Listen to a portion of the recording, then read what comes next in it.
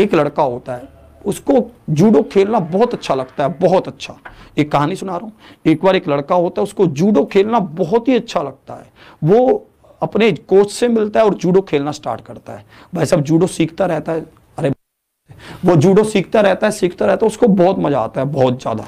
ठीक है? और उसके गुरु भी देखते हैं कि बच्चे में धीरे धीरे बहुत निखार आ रहा है। बहुत अच्छा वो प्रोग्रेस कर रहा है। प्रोग्रेस करता रहता है, करता रहता है। एक दिन बाई चांस उसका एक्सीडेंट हो जाता है। वो उसका राइट हैंड चला जाता है। उसके राइट हैंड को प्लास्टर होता है, वो राइट हैंड अब काम ही नहीं कर सकता, उसका राइट हैंड काटना ही पड़ता है। धीरे धीरे वो खराब हो जाता है पूरा। राइट हैंड डॉक्टर कहते हैं कि काटना पड़ेगा, नहीं तो बच्चा मर भी सकता है। राइट हैंड काट दिया जाता है। राइट हैंड कट गया। बच्चा बिल्कुल एक तरह से अपने आप को अपाहिज महसूस करता है। थोड़े दिनों बाद उसके कोच उससे मिलने आते हैं। उसके कोच कहते हैं, आप जूडो सीखने आइए। कोई दिक्कत नहीं है। आपका इंटरेस्ट है, आपका मन करता है, आप आइए। मैं आपको पूरा परफेक्ट बना दूँगा। भाई साहब, वो फिर से आता है। तो उसके कोच उसको एक दाम सिखाते हैं। वो बच्चा उस दाम की प्रैक्टिस करता है। दस दिन करता है, बीस दिन करता है, तीस दिन करता है। बच्चा बोलता है, साहब, तीस दिन हो गए, इसी इसी दाव की प्रैक्टिस कर रहा हूँ। आगे कुछ बताइए। तो कोच बोलते हैं, तुम करते रहो बस। साठ दिन करता है छः महीने करता है, एक ही दाम की प्रैक्टिस छः महीने करता रहता है। भाई साहब, उसको मैदान में कहते हैं, कल तुम्हारा मैच है। बच्चा हैरान होता है। बच्चा कहता है, यार, मैं क्या जीतूँगा? भाई साहब, मैं कहाँ जीत पाऊँगा? भाई साहब, एक हाथ नहीं है और एक ही दाम सिखा रहे हैं ये छः महीने से। गुरु जी कहते हैं, तुम मेरे पे विश्वास करके एक बार मैदान में उतर जाओ बस। भाई साहब, मैदान में उतारा जाता है। जैसे खिलाड़ी आमने सामने आते हैं तो बात होती है। तो भाई साहब, वो देखता है, पहलवान खिलाड़ी के सामने वाला काफ़ी मज़बूत है। कैसे ना कैसे करके, भाई साहब, वो पहले पहले ही उसमें उसको हरा देता है। लड़का हरा देता है उसको।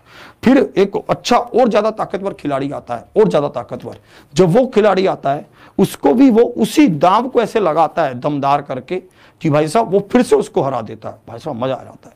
फिर फाइनल मैच होता है, तीसरा राउंड होता है, फिर तीसरा बंदा और आता है। अब की बार और बढ़िया बंदा आता है।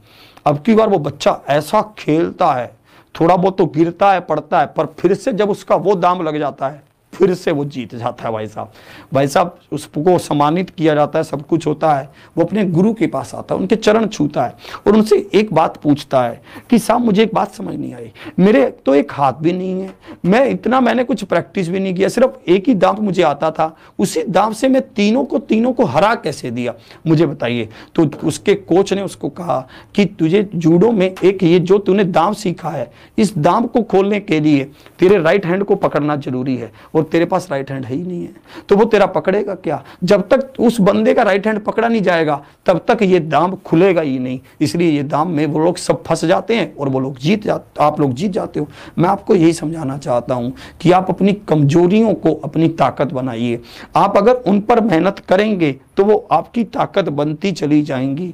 अगर आप उनको छोड़ देंगे तो चीज़ें सदा के लिए ऐसी रहेंगी। आप अपनी कमजोरियों पर जब काम करना स्टार्ट करते हैं तो शुरू शुरू में तो ज़ोर लगता है, पर बाद में उतना ही मज़ा आता है और एक दिन हम जीत जाते हैं। अगर आपको मैथ अपना कमज़ोर लगता है, इस पर काम कीजिए, अच्छे से कीजिए, आपको और ज़्यादा सफलता मिलेगी, और ज़्यादा आप आगे बढ़ेंगे। बस अपनी कमजोरियों को अपनी क्या करें? ताकत बनाते चलिए, बहुत मज़ा आने वाला है।